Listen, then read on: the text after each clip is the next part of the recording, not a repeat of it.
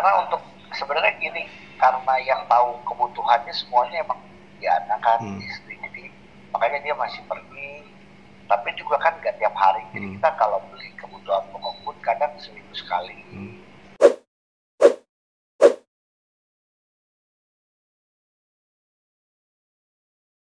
Ini aktivitas eh, semua pada work from home juga. Eh, Mas Ogi juga Iya, aktivitas iya. mungkin sekarang lebih banyak di rumah. Bisa cerita sedikit? Sekarang bisa kumpul sama keluarga mungkin lebih banyak. Ya, pasti sih karena ini kan sesuai dengan anjuran pemerintah. Mungkin total udah sampai 10 11 10 11 hari lagi ya kayak udah di rumah, nggak ke mana-mana juga. Kalaupun keluar, malah justru istri, istri saya keluar hanya untuk eh, belanja kebutuhan rumah, itu aja. Terus kemarin juga sempat apa ya, ya paling cuma yang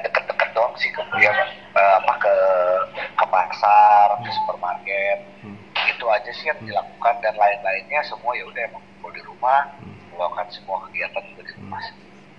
Kan beberapa orang kayak ke supermarket atau beli kebutuhan pokok, ke pokok itu kan banyak yang beli secara online, Mas.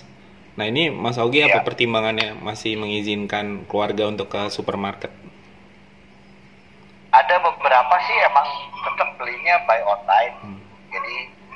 Kayak kemarin beli beras online, ya kan, apalagi yang yang kemarin online ya, Online. Oke. ya. Mas Ogi, ini kan Mbak Diana lagi Ya. hamil anak kedua nih.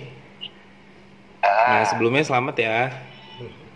ya terima kasih. Nah, ini dengan kondisi kayak gini, sementara Mbak Diana mungkin masih suka keluar beli kebutuhan pokok sebagai suami, ada kekhawatiran nggak sih, Mas? Eh, karena untuk sebenarnya gini, karena yang tahu kebutuhannya semuanya emang Diana kan Hmm. istri, jadi makanya dia masih pergi. Tapi juga kan nggak tiap hari, jadi Hmm. kita kalau beli kebutuhan pokok pun kadang seminggu sekali. Hmm. Jadi pun baru berangkat, terus dia biasa juga pulang langsung ganti baju, mandi Hmm. dulu segala Hmm. macam, Hmm.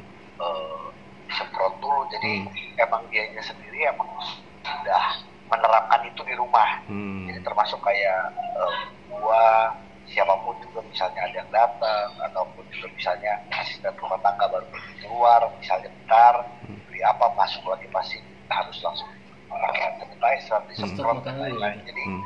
eh, kita berusaha supaya kita nyaman di tempat rumah kita ini supaya semuanya bersih dan tidak eh, perlu keluar-keluar Hmm. gitu. Khawatir juga nggak sih dengan sekarang udah hamil berapa bulan ya, Mas Mbak Diana? Sekarang berarti dia udah 28 minggu. Tujuh bulan ya? 23 minggu ya. 20 23 minggu. Oh, jalan 6 bulan berarti ya? Nah, ya, mau mau 6 bulan. Mau 6 bulan. Betul.